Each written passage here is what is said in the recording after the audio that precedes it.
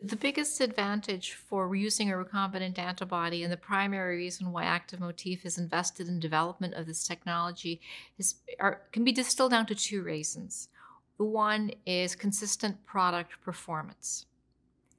By having a recombinant, you'll always have access to the same antibody from one year to the next, from one production run to the next. Security of product supply is the second reason why Active Motif has invested in the development of AbFlex antibodies. And this is especially pertinent to hybridomas, where you have to maintain liquid nitrogen tanks, worry about the hybridoma cells keeping the chromosome containing the, the antibody gene and not, not kicking it out. So by going with recombinants, you now have the security that you will always have that high value hybridoma and never have to worry about losing it. So we have generated AbFlex antibodies from monoclonal antibodies. We start off with extracting RNA from the hybridoma cell line and sequence the RNA, and from there take the variable regions and um, put the variable region sequences into our expression vectors.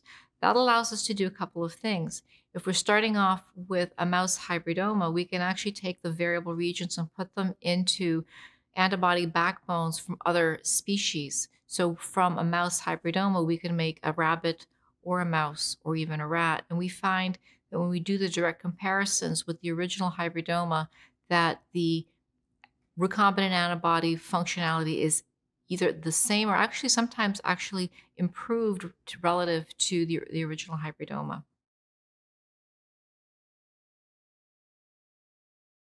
A large percentage of Active Motif's product line are polyclonal antibodies.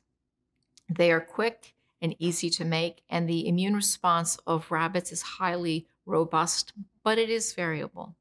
And it is this variability which has been an issue with regards to maintaining consistent product performance.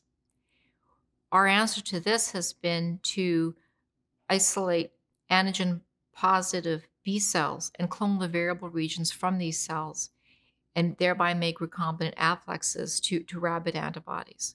Again, we have the same advantage of having a recombinant antibody derived from the hybridomas that we now have something that is stable and available forever.